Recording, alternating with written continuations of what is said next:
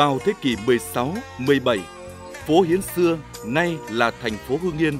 đã từng là lị sở của trấn Sơn Nam, là một trong những thương cảng lớn nhất của đàng ngoài với những hoạt động giao thương nhộn nhịp và sôi động. Khi đó, kinh thành Thăng Long có 36 phố phường, thì phố Hiến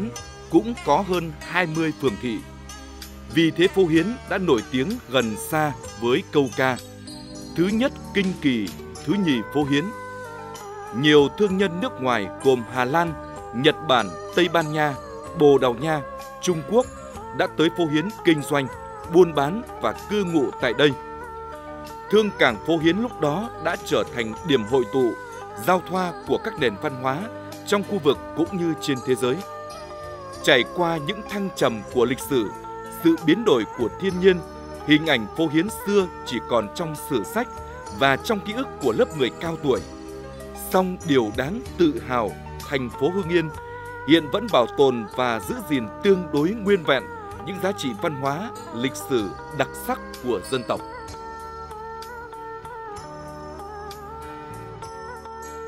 Sau 30 năm sáp nhập với tỉnh Hải Dương, ngày 1 tháng 1 năm 1997, tỉnh Hưng Yên được tái lập, thị xã Hưng Yên trở lại là vị trí trung tâm chính trị, hành chính, kinh tế, văn hóa, xã hội của tỉnh. Do có những đổi thay và phát triển vượt bậc, ngày 17 tháng 7 năm 2007, thị xã Hương Yên đã chính thức được công nhận là đô thị loại 3 và trở thành thành phố trực thuộc tỉnh Hương Yên. Cũng nhân dịp này, thành phố Hưng Yên đã được Chủ tịch nước phong tặng danh hiệu cao quý Anh hùng lực lượng vũ trang nhân dân. Để thành phố Hưng Yên tiếp tục phát triển ngang tầm yêu cầu và nhiệm vụ, ngày 6 tháng 8 năm 2013, Chính phủ đã ban hành Nghị định số 95 điều chỉnh địa giới các huyện Kim Động, Tiên Lữ để mở rộng địa giới hành chính thành phố Hưng Yên. Theo đó, địa giới thành phố Hưng Yên được mở rộng thêm 2 xã của huyện Kim Động và 3 xã của huyện Tiên Lữ, đưa diện tích tự nhiên của thành phố trên 4.600 ha lên gần 7.500 hectare từ 12 phường xã lên 17 phường xã.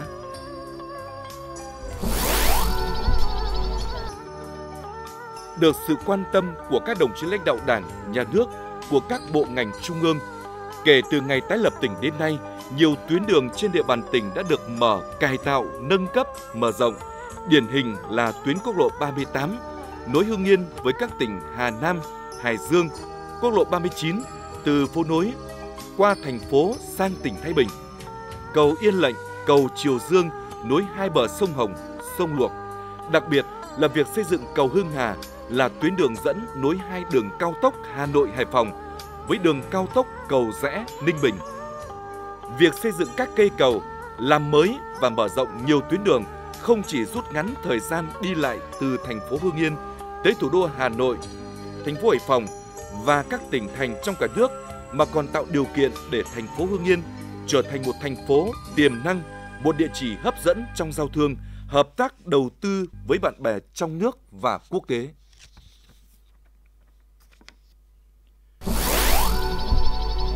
Với bề dày truyền thống và lịch sử, thành phố Hưng Yên hôm nay không chỉ mang trong mình những giá trị văn hóa truyền thống mà đã và đang trở thành một đô thị năng động hiện đại. Tốc độ kinh tế tăng trưởng bình quân 10 năm đạt 11,8% trên năm.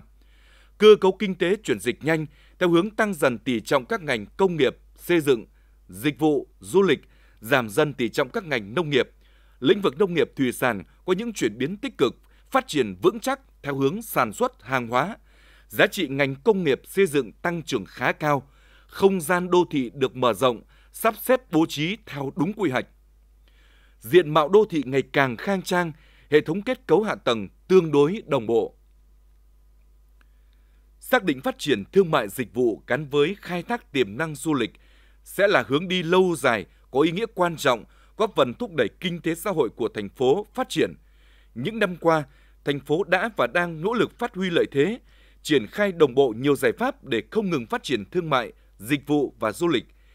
Điểm đặc biệt thuận lợi của thành phố là hiện vẫn bảo tồn được 200 di tích lịch sử văn hóa và kiến trúc nghệ thuật, là một trong những địa phương có mật độ di tích lịch sử dày đặc nhất cả nước. Nổi bật là các di tích chùa Chuông, chùa Nễ Châu, đình chùa Hiến, đền Mẫu, đền Mây, đền Kim Đằng, Văn Miếu Xích Đằng. Quần thể di tích lịch sử văn hóa đa dạng đã tạo cho thành phố Hưng Yên một bản sắc văn hóa sâu đậm, vừa mang tính dân tộc cộng đồng, vừa mang đặc trưng riêng của địa phương. Với trên 30 lễ hội được diễn ra hàng năm, các hoạt động ấy đã góp phần quan trọng vào việc bảo tồn và phát huy các giá trị văn hóa đặc sắc của dân tộc, của địa phương. Trong 10 năm qua, bằng nhiều nguồn vốn khác nhau, thành phố đã tập trung đầu tư nâng cấp cơ sở hạ tầng giao thông, đô thị, hạ tầng thương mại dịch vụ với tổng nguồn vốn trên 3.500 tỷ đồng. Nhìn chung, các dự án đã và đang phát huy được hiệu quả,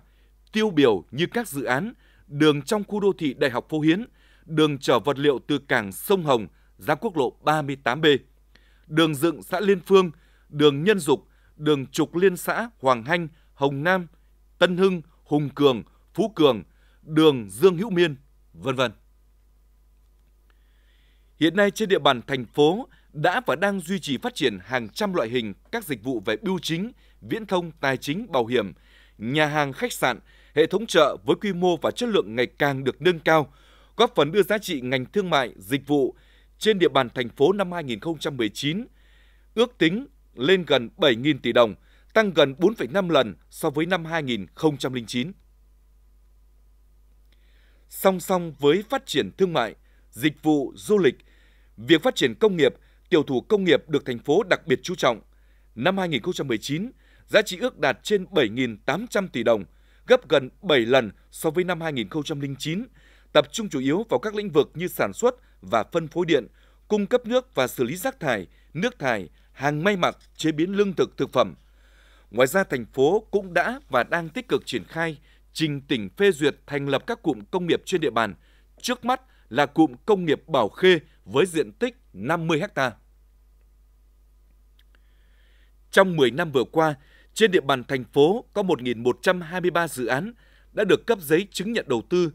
Có một số dự án đã đi vào hoạt động ổn định và hiệu quả như Bệnh viện Hưng Hà, khu nhà ở Phúc Hưng, khách sạn Phú Hiến, trung tâm thương mại và salon ô tô Hưng Yên.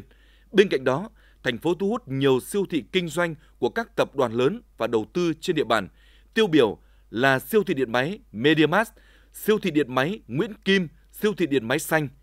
Các doanh nghiệp kinh doanh với doanh thu hàng trăm tỷ đồng mỗi năm, tạo việc làm cho hàng nghìn lao động tại địa phương.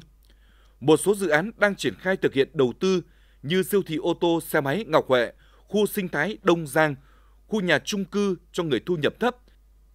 Với những chính sách mời gọi đầu tư hấp dẫn của tỉnh, thời gian vừa qua đã có nhiều tập đoàn kinh tế lớn như tập đoàn Vingroup, tập đoàn FLC, tập đoàn T&T đã về khảo sát, tìm hiểu cơ hội đầu tư trên địa bàn thành phố. Mới đây nhất, ngày 11 tháng 7 năm 2019, Ủy ban Nhân dân tỉnh Hưng Yên đã có quyết định số 1512 phê duyệt nhiệm vụ lập quy hoạch chi tiết xây dựng tỷ lệ 1 trên 500 khu đô thị phía đông sông Điện Biên do tập đoàn Vingroup làm chủ đầu tư. Đây có thể coi là cơ hội để thành phố Hưng Yên tiếp tục phát triển trong những năm tiếp theo. Với thế mạnh về phát triển nông nghiệp, với đất đai phì nhiêu màu mỡ, hệ thống sông hồ bao quanh, khí hậu ôn hòa, với nhiều sản phẩm nổi tiếng như nhãn lồng, cam, mật ong, long nhãn, hạt sen, thành phố còn đặc biệt quan tâm thực hiện việc tái cơ cấu ngành nông nghiệp với trọng tâm là phát triển các loại cây trồng vật nuôi chủ lực có lợi thế phù hợp với điều kiện thổ nhưỡng, qua đó từng bước hình thành những vùng sản xuất tập trung theo quy trình Việt Gáp. Cho năng suất và hiệu quả kinh tế cao, tiêu biểu như vùng trồng nhãn tại các xã Hồng Nam, Phương Triều, Tân Hưng, cho doanh thu từ 400 đến 500 triệu đồng một hecta. Vùng trồng cam, bưởi tập trung ở các địa phương như Quảng Châu, Lam Sơn, Hồng Châu cho doanh thu từ 400 đến 450 triệu đồng một hecta. Vùng trồng chuối tập trung ở các xã Hùng Cường, Phú Cường cho doanh thu từ 250 đến 300 triệu đồng một hecta. Vùng trồng rau an toàn, cây dược liệu tại các xã Trung Nghĩa, Bảo Khê cho doanh thu từ 180 triệu đến 230 triệu đồng một hecta. Bên cạnh đó, thành phố cũng khuyến khích đẩy mạnh phát triển các làng nghề truyền thống, các mô hình kinh tế tập thể, các hợp tác xã, tổ hợp tác cũng như các mô hình kinh tế trang trại, gia trại. năm 2019, thu ngân sách trên địa bàn thành phố ước đạt 1.780 tỷ đồng, tăng trên 4,3 lần so với năm 2009. Thu nhập bình quân đầu người ước đạt 69,5 triệu đồng một người trên năm, tăng gần 4 lần so với năm 2009. Tỷ lệ hộ nghèo giảm từ 3,5% năm 2009 xuống còn 1,5% năm 2019. Ờ, sau khi từ thị xã được như vậy là ờ, nhà nước công nhận lên thành phố thì cái ờ, nhận thức của bản thân tôi về cái tốc cái đầu tiên đó là cái tốc độ đô thị hóa, phát triển rất nhanh. Các cái ừ, cục ờ, các cái hệ thống đường giao thông được mở rộng và nâng cấp. Hiện nay là chúng ta đã có các đại lộ Nguyễn Văn Ninh 5 km. Tất cả các trục đường trên địa bàn thành phố được nâng cấp mở rộng tinh thang cho thuận, rất thuận tiện cho việc giao thông. Và đặc biệt, về cái thực hiện nếp sống văn minh đô thị thì thực sự đến nay đã đi vào lề lếp và đi vào nhận thức của nhân dân. Cuộc sống của ờ, nhân dân đã được lưng lên một cách rõ rệt để ngang tầm với các cái ờ, thành phố bạn lân cận. Trong thực hiện chương trình mục tiêu quốc gia xây dựng nông thôn mới, được các cấp các ngành từ thành phố đến các xã triển khai hiệu quả và được nhân dân tích cực hưởng ứng – từ năm 2011 đến tháng 12 năm 2018, thành phố đã huy động được tổng số trên 2,1 nghìn tỷ đồng đầu tư xây dựng hệ thống cơ sở hạ tầng thiết yếu. Trong đó, nguồn vốn huy động từ nhân dân ước đạt gần 1,1 nghìn tỷ đồng. Các xã trên địa bàn thành phố đã xây mới, cứng hóa được gần 290 km đường giao thông nông thôn, huy động được trên 1.400 hộ dân, hiến gần 25.000 m2 đất ở, gần 30.000 m2 đất canh tác, đóng góp hàng nghìn ngày công lao động, vật tư với tổng trị giá trên 51,1 tỷ đồng. Diện mạo khu vực nông thôn trên địa bàn thành phố đã thực sự có nhiều khởi sắc, đời sống vật chất cũng như tinh thần của người dân không ngừng được nâng lên. Nếu như năm 2011, thu nhập bình quân khu vực nông thôn của thành phố là 17 triệu đồng một người trên năm và tỷ lệ hộ nghèo là 5,4%, thì đến năm 2018, mức thu nhập đã được nâng lên trên 45 triệu đồng một người trên năm, tỷ lệ hộ nghèo giảm xuống còn 1,97%. Cuối năm 2018,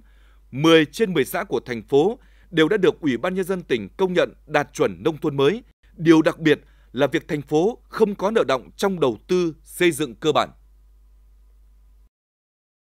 Trong những năm qua, lĩnh vực văn hóa xã hội được cấp ủy chính quyền từ thành phố xuống các xã phường thôn khu phố đặc biệt quan tâm. Các chế độ chính sách đối với gia đình người có công được thực hiện kịp thời, đầy đủ, công tác an sinh phúc lợi, xã hội luôn được đảm bảo. Sự nghiệp giáo dục đào tạo có những bước phát triển toàn diện và luôn đứng top đầu của tỉnh. Trung tâm y tế thành phố, trạm y tế các phường xã được đầu tư nhiều trang thiết bị hiện đại, đội ngũ y bác sĩ được bồi dưỡng, đào tạo, đào tạo chuyên sâu đã đáp ứng khá tốt nhu cầu khám chữa bệnh của nhân dân – tỷ lệ người dân tham gia bảo hiểm xã hội, bảo hiểm y tế ước đạt 90%, tăng gần 40% so với năm 2009. Việc cung cấp mở rộng hàng loạt các thiết chế văn hóa, thể thao trên địa bàn thành phố không chỉ nâng cao đời sống văn hóa tinh thần cho người dân mà còn góp phần thúc đẩy phong trào rèn luyện thể thao theo gương Bắc Hồ vĩ đại. Hiện thành phố có 87 trên 89 khu phố, làng văn hóa, số gia đình văn hóa đạt trên 92%. Tỷ lệ người dân luyện tập thể dục thể thao thường xuyên hàng năm đạt trên 50%. Hệ thống lưới điện sản xuất và sinh hoạt của thành phố được cung cấp ổn định an toàn. 100% các tuyến phố được trang bị hệ thống chiếu sáng với chiều dài gần 40 km. Hiện thành phố có 3 nhà máy cung cấp nước sạch, đưa tỷ lệ hộ dân dùng nước sạch đạt 100%, trong đó tỷ lệ dân cư nội thành được sử dụng nước máy đạt 87%, khu vực ngoại thành đạt 70%. Để thành phố Hưng Yên sớm trở thành đô thị văn minh hiện đại, thành phố đã và đang triển khai quyết liệt chương trình số 10 của Thành ủy về nâng cao chất lượng hiệu quả thực hiện nếp sống văn hóa, văn minh giai đoạn 2016-2020. Điểm nổi bật của chương trình là phong trào chiều thứ 6 vì môi trường thành phố Hưng Yên sạch đẹp. Thông qua chương trình, toàn bộ chất thải được thu gom, vận chuyển, phân loại xử lý đạt tỷ lệ cao hàng loạt cây xanh đã được trồng bổ sung ở công viên, hồ nước khu dân cư đã tạo không gian sống chất lượng cho cư dân trên toàn thành phố. Điều vô cùng độc đáo là giữa lòng thành phố, hai đảo cò ngày càng phát triển với số lượng rất lớn. Điều đó cho thấy Hưng Yên không chỉ là thành phố hưng thịnh mà còn rất bình yên, một điểm đến hấp dẫn với du khách gần xa. Về cải cách hành chính, thành phố và các phường xã thực hiện nghiêm túc và đồng bộ việc tiếp nhận giải quyết các thủ tục hành chính theo cơ chế một cửa, một cửa liên thông. Năm 2009, thành phố mới chỉ triển khai bước đầu việc xây dựng chính quyền điện tử, thì đến năm 2019, 100% văn bản trao đổi dưới dạng điện tử giữa các cơ quan nhà nước và 100% thủ tục hành chính trên địa bàn thành phố đều đã được công khai, tiếp nhận, xử lý trên hệ thống điện tử, qua đó góp phần làm giảm phiền hà, rút ngắn thời gian đi lại của tổ chức cá nhân. Đời sống nhân dân được nâng lên cả về văn hóa và tinh thần, đường xá thì ờ, sạch đẹp, ờ, đi làm thủ tục các giấy tờ thì rất là nhanh nhẹn. Các các cô các chú ở trên ủy ban hay chắc các phường rất là làm rất tạo điều kiện thuận lợi để cho nhân dân làm các thủ tục giấy tờ. Cùng với đẩy mạnh phát triển kinh tế, công tác đảm bảo an ninh chính trị, trật tự an toàn xã hội luôn được thành phố duy trì có hiệu quả. Phong trào toàn dân bảo vệ an ninh Tổ quốc, hoạt động của các tổ tự quản về an ninh trật tự đi vào chiều sâu, đạt hiệu quả thiết thực. Thành phố thường xuyên quan tâm lãnh đạo, chỉ đạo xây dựng lực lượng vũ trang địa phương vững mạnh toàn diện, sẵn sàng nhận và hoàn thành mọi nhiệm vụ trong tình hình mới. Sau 15 xây dựng và phát triển, ờ, trong cái bối cảnh thành phố Nghiên gặp nhiều khó khăn thách thức song với cái tinh thần đoàn kết thống nhất cao đảng bộ chính quyền và dân thành phố hưng yên đã quyết tâm phấn đấu và đã hoàn thành nhiều mục tiêu về phát triển kinh tế xã hội. Và tháng 8 năm 2019 thành phố Nghiên đã được Thủ tướng Chính phủ công nhận là thành phố hoàn thành nhiệm vụ xây dựng nông thôn mới. À, diện mạo và chất lượng đô thị ngày càng được à, nâng cao. À, thành phố Nghiên 4 năm liền đã được Hiệp hội Đô thị Việt Nam và Bộ Xây dựng công nhận là thành phố xanh, sạch, đẹp và bền vững. Ờ, trong 10 năm qua, thành phố Nghiên đã tạo dựng cho mình một vóc dáng của một đô thị đầy tiềm năng phát triển đồng bộ trên mọi lĩnh vực. Trong 10 năm kể từ ngày thị xã Hưng Yên trở thành thành phố, được sự quan tâm chỉ đạo của các đồng chí lãnh đạo Đảng, Nhà nước, các ban, bộ, ngành trung ương, đặc biệt là sự quan tâm chỉ đạo của tỉnh ủy, Hội đồng Nhân dân, Ủy ban Nhân dân tỉnh, cán bộ và nhân dân thành phố Hưng Yên đã đoàn kết chung sức đồng lòng, nỗ lực phân đấu và đã hoàn thành hoàn thành xuất sắc các mục tiêu, nhiệm vụ đề ra. Thành phố đã và đang phát huy nội lực, tập trung mọi nguồn lực để đầu tư xây dựng cơ sở hạ tầng, chỉnh trang đô thị, mở rộng hợp tác giao lưu kinh tế với các địa phương trong và ngoài tỉnh, thu hút ngày càng nhiều du khách đến với thành phố Hưng Yên, một mảnh đất yên bình, hưng thịnh với những con người thân thiện, hiếu khách, thanh lịch và văn minh. Kết quả của thành phố đạt được trong 10 năm qua rất đáng tự hào. Tuy nhiên, vẫn chưa đáp ứng được kỳ vọng của nhân dân. Thời gian tới đây, thành phố cần tập trung vào một số nhiệm vụ. Thứ nhất, chúng tôi tiếp tục duy trì nghiêm việc chấp hành kỷ cương kỷ luật của các cấp ủy chính quyền các cấp để tạo ra sự thống nhất trong ý chí và hành động hướng tới sự phục vụ mọi mặt của đời sống nhân dân thực sự xứng đáng là công bộc của người dân Thứ hai, phải đẩy mạnh hơn nữa việc xây dựng nếp sống văn hóa văn minh, tạo chuyển biến căn bản trong nhận thức và hành động của người dân trong xây dựng nếp sống văn hóa. Đặc biệt là trong việc cưới, việc tang, giữ gìn vệ sinh, cảnh quan môi trường của thành phố. Thứ ba, tập trung xây dựng kết cấu hạ tầng văn hóa bao gồm các thiết chế văn hóa để phát huy giá trị của phố Hiến Cổ và các thiết chế văn hóa để phục vụ các hoạt động văn hóa, thể thao, du lịch của thành phố. Có thể khẳng định, thị xã Hưng Yên được công nhận là đô thị loại 3 và trở thành thành phố trực thuộc tỉnh, thực sự như một đòn bẩy, nguồn cổ vũ động viên vô cùng to lớn đối với Đảng bộ và nhân dân toàn thành phố. Những kết quả, những thành tựu mà Đảng bộ và nhân dân thành phố đạt được trong 10 năm qua đã trở thành những minh chứng sống động về tinh thần đoàn kết phát huy nội lực, vượt qua khó khăn của người dân nơi đây. Hy vọng với một đô thị nhiều tiềm năng, nhiều thế mạnh, thành phố Hưng Yên tiếp tục sẽ có những bước tiến dài trên con đường đi tới, luôn xứng đáng với vai trò, vị thế là trung tâm chính trị, hành chính, kinh tế, văn hóa, xã hội của tỉnh Hưng Yên.